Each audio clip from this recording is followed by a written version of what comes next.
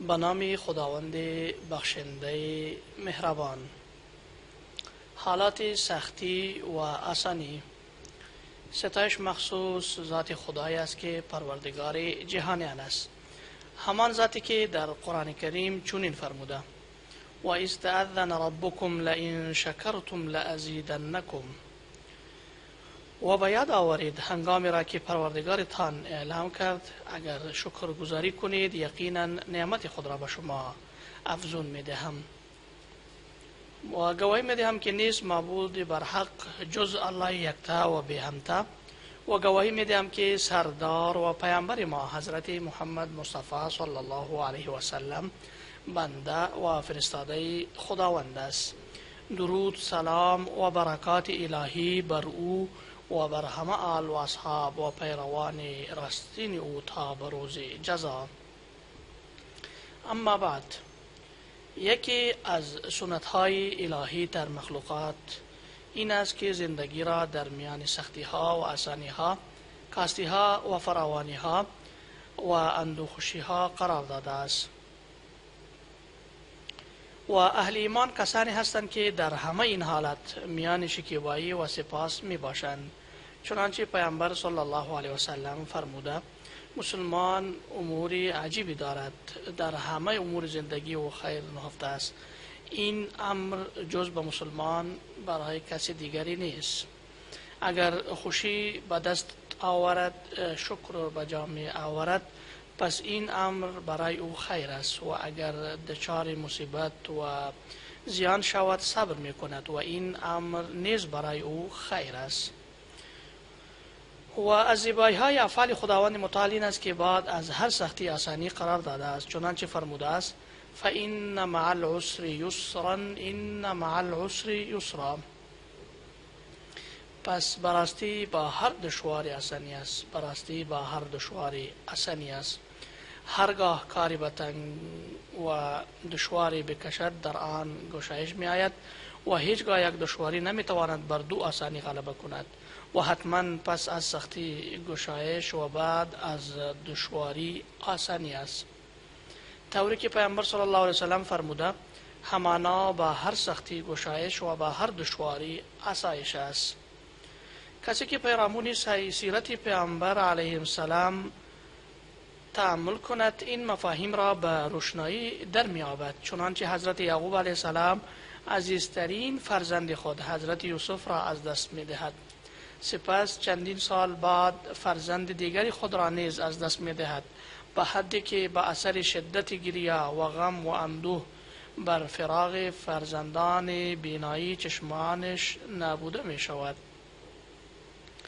چنانچه خداوند متعال در قرآن کریم فرموده و بیضت عیناه من الحزن فهو کظیم و چشمان أو از اندوه سفید شد در حالی که سرشار از غم بود. اندوی خود را فرو میبرد. مگر اینکه أو امید را از دست نداده بود چنانچه قرآن کریم از زبان أو حکایت می کند یا بنی ذهبوا فتحسسوا من یوسف و اخیه ولا تیأسوا من روح الله. انه لا ییأس من روح الله الا القوم الكافرون. ای پسران من بروید و از یوسف و برادرانش جستجو کنید و از رحمت الله ناامید نشوید. چرا که جز گروه کافران کسی از رحمت الله ناامید نمی شود و بعد از سختی و مشکلات آسانی و سرور از جانب الله برای او آمد. پس خداوند برای او چشمان و فرزندانش را برگردان. چنانچه الله متعال می فرماید فلما أن جاء البشير ألقاه على وجهه فارتد بصيرا.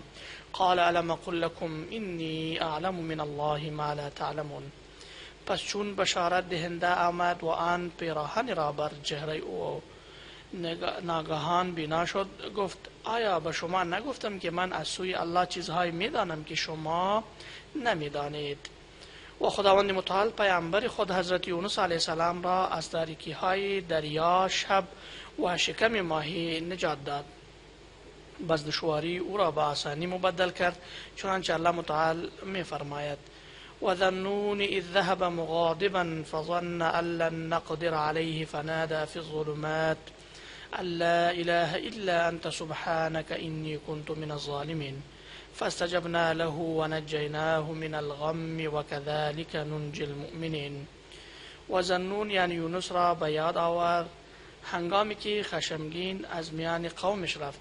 پس چونین بنداش که ما هرگز بر أو تنگ نمیگیریم. پس وقتی که در شکم ماهی فرو رفت در تاریکی ها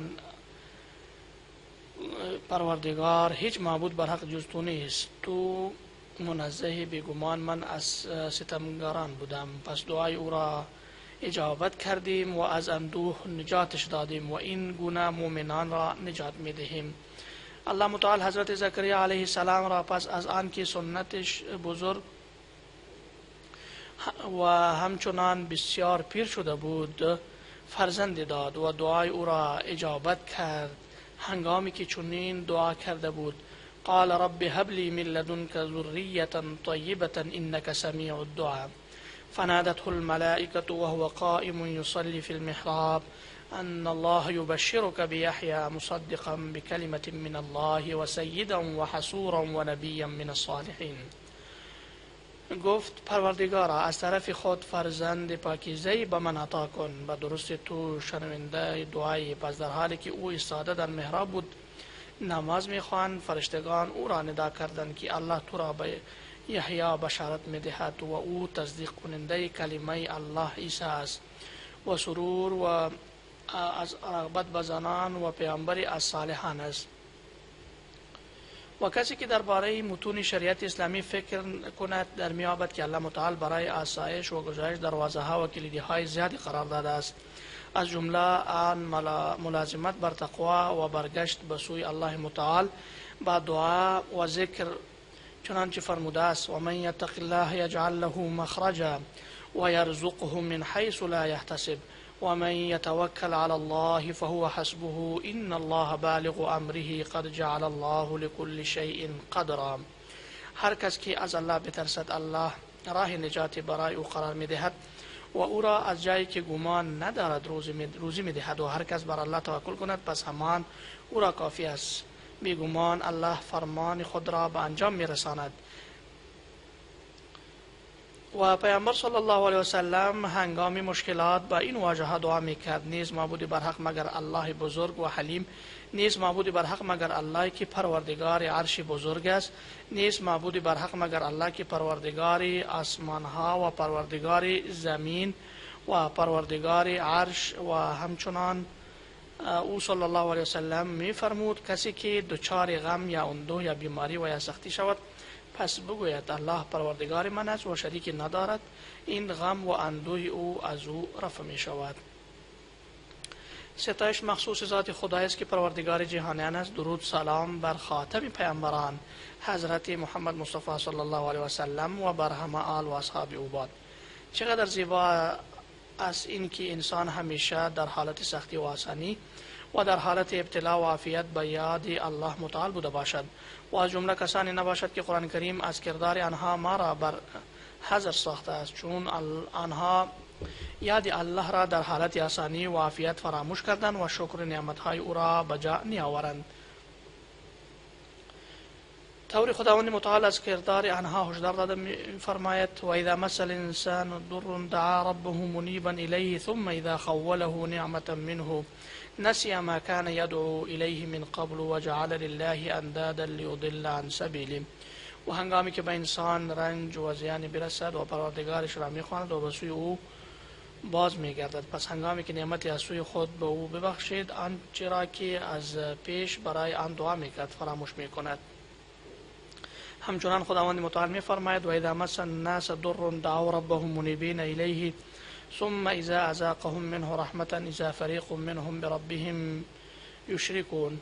وإذا مسكم الضر في البحر ضل من تدعون إلا إياه فلما نجاكم إلى البر أعرضتم وكان الإنسان كفورا. وإذا مس الإنسان الضر دعانا لجنبه أو قاعدا أو قائما.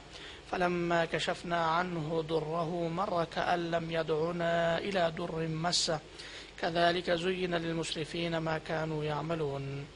چون به انسان زیان و رنج برسد در حالی که باشد به پهلوی خوابیده یا نشسته یا ایستاده ما را میخوانده. پس هنگامی که زیاد و رنج او را او برطرف کردیم چنان می رود که گویا هرگز مرا برای دفع زیان و رنجی که به او رسیده بود نخوانده است این گونه برای کاروان آنچه می کردن در نظرشان زینت داده شده است. و در آیت دیگری می فرماید قل من ينجيكم من ظلمات البر والبحر تدعونه تضرعا وخفيا لئن انجانا من هذه لنكونن من الشاكرين چه کسی شما را از تاریکی های خشکی و دریا رهایی می بخشد او را با تضرع و زاری و در پنهانی می خوانید و می گوید اگر ما را از این خطرات و بلاها رهایی ببخشد مسلمان از شکر گذاران خواهیم بود.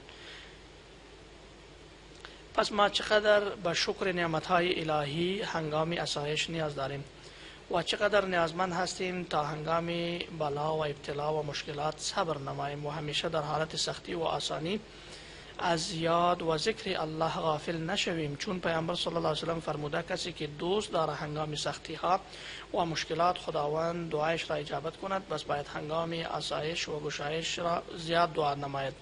و در حدیث دیگری فرموده در حالت آسانی خدا را بشناس تا او را تو را در حالت سختی هایت بشناسد.